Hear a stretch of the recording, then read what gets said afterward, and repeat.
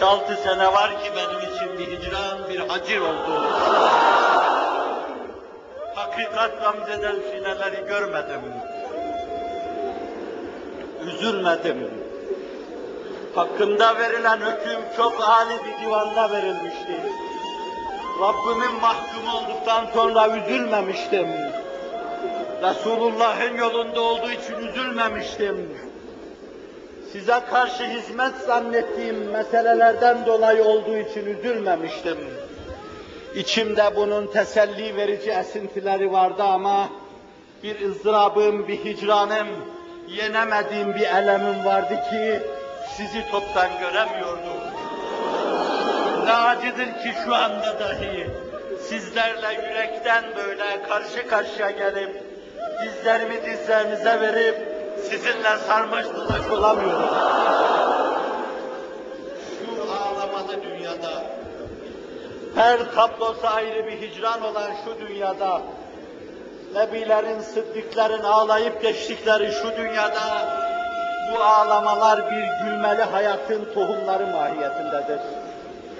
Öbür alemde kesretler, manalar, engeller, perdeler, hainler mani olmadan hammadun olarak Allah'a çok hamd eden bir cemaat olarak elinde hammadunun bayrağını taşıyan Hazreti Muhammed'in yani Ahmedi Mahmudu Muhammed Mustafa'nın sallallahu aleyhi ve sellem bayrağının altında toplanacak, manisiz, perdesiz, hailsiz, bütün güzelliklerin kaynağı olan Cenab-ı Hakk'ın cem- cemalini müşahede edecek ve kendimizden geçeceğiz. Bizim gerçek lezzet günümüz, zevk günümüz, iliklerimize kadar inşirah duyacağımız gün o gündür ve bugün sizin, benim, dünkülerin ve yarınkilerin katlanacağı her şey işte bunun içindir. Rabbim bu mevcudaki çırpınışlarımızı ihlas dairesinde edaya bizleri muvaffak kılsın. Bana arkadaşlarım dediler ki sabah namazını kıldık geldik cami dolu gibiydi. Ne arıyorlardı bu insanlar? Neyin peşindeydiler?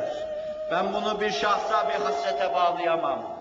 Bu işin arkasında Hz. Muhammed Aleyhisselatü Vesselam vardı. Ben itizar mahiyetinde mukaddimemde bir cümle söyledim. Siz bu kadar sıkıldıktan sonra bir de ben sizi sıkmayayım. Ama vicdanlarınıza inildiği zaman zannediyorum hiçbir vicdanda sıkıntının zerresine şahit olunmayacaktır. Çünkü siz Hz. Muhammed Aleyhisselatü Vesselam'ı arıyorsunuz. Tıpkı Sümeyra gibi. Oğlunun cenazesinin yanından geçerken, babasının cenazesinin yanından geçerken Uhud'da, kardeşinin cenazesinin yanından geçerken, dikkatler o cenazelerin üzerine çevrilmesine rağmen, o mafu ile bir Resulillah diyordu. Bırakın anneyi babayı, Resulullah'a ne olduğunu bana söyleyin. Buraya koşup gelirken, sabahın erken saatlerinde camiyi doldururken, hangi sineye bir hançer vursaydınız, ondan şunu duyacaktınız. Mafu ile bir Kur'an, bırakın şunu bunu, Kur'an'a ne yapıldığını söyleyin size.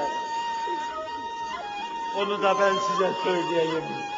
Zaman ihtiyarladıkça Kur'an gençleşiyor.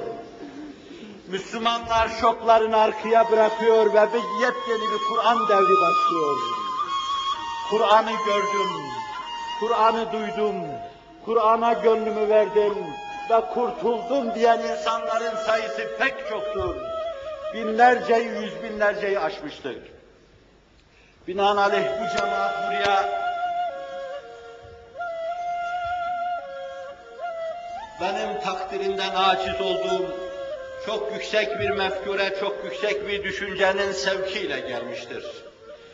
Burada aradığını bulamamış olabilir. Önemli değil, innemel amalu bin niyat. Ameller niyetlere göredir. Zannediyorum her bir arkadaşımız buradan çıkarken Efendimiz'e olan hahişinin mükafatını, Allah'la olan irtibatının mükafatını, Kur'an'a karşı olan saygısının mükafatını dağarcığına koyup böyle çıkmış olacaktır. Kimse boş çıktığına, boş çıktığı zehabına kapılmasın. Ben bu kadar hahişkar bir cemaat içine girerken inanın utandım biraz. Ama cürmümü söylemedim. Söyleyip de sizi kaçırmada fayda mülahaza etmedim.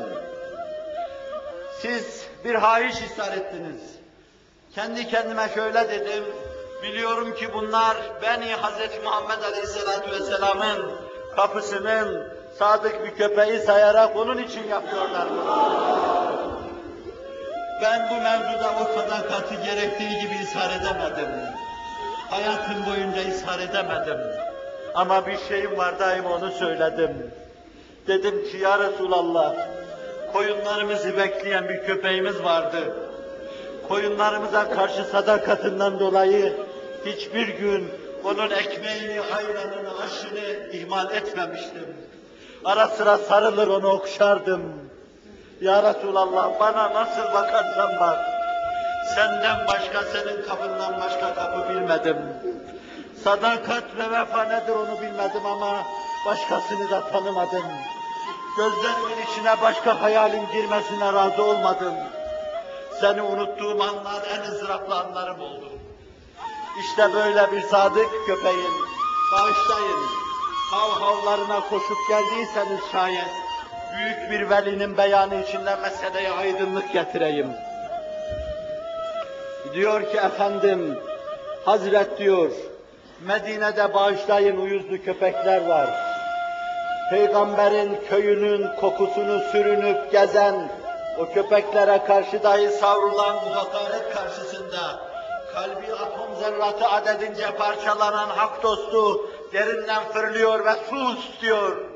Peygamberin köyünün kokusunu sürünüp gezen o köpeklere dahi ben kurban olayım. Ahdü peymanımız budur. Ona verdiğimiz söz budur. Gözümüzü açtık, onu tanıdık. Onunla her şeyi tanıdık. Onunla Allah'ı ve Kur'an'ı tanıdık. Onunla kainatın manasını tanıdık. Ve onunla işlerimiz inşiraha erdi. Kalplerimiz itminana kavuştu. Her şeyi ona borçluyuz. Binaenaleyh çok defa gölgeler arkasında yürüyen sizler, çok defa fani şahısların fani olmalarına işlerinizi bina eden sizler. Ben biliyorum ki siz bütün bu gölgelerin önünde, bütün bu gölgelerin mihrabında, bütün bu gölgelerin minberinde nazarınızda tek şey vardır. O da Hz. Muhammed Mustafa sallallahu aleyhi ve sellem. Siz bugün onu sormak için geldiniz. Ma fu'ile bi Resulillah, ma fu'ile bil Kur'an. Resulullah bizim kalbimize göre nerede ve Kur'an bizim kalbimize göre nerede? Yıllar öncesi ben bu meseleyi kürsüye cemaatimin karşısına getirirken El Kur'anu fi vadin hum fi vadin diyordum ve sonra da iki büklüm oluyor. Kur'an bir vadide, onlar bir vadide diyor ve iki büklüm oluyordum. Estağfirullah ya Rabbi, estağfirullah ya Rabbi, estağfirullah ya Rabbi. Kur'an'a bu kadar yürekten dilbeste olmuş bir cemaati görünce o gün yanılmış olabilirim. Fakat o yanıldığımı ancak bugün anlıyorum. Meğer ne tohumlar saçılmış toprağın bağrına. Meğer nerede ne şehsuvarlar gelişiyormuş. Meğer ne küheylanlar koşuya ve yarışa hazırlanıyormuş. Meğer ne kahramanlar kasabı sevki elde etmek için bir suvari gibi atını araştırıyormuş. Ve bugün bunların yüzlercesini, binlercesini gördükçe inşirah içinde istikbale ümitle bakıyor. Avazımız çıksa bütün dünyaya duyurmak istiyoruz. Ümit var olunuz. Şu istikbal inkılabası içinde en yüksek ve gür sada Kur'an'ın sadası olacaktır. Sahabatı da şimdiden duyulmaya başlamıştır. Ciddi kalemler, büyük düşünürler, muhteşem mütefekkirler Kur'an'ın etrafında yazıp çizmeye başlamışlardır.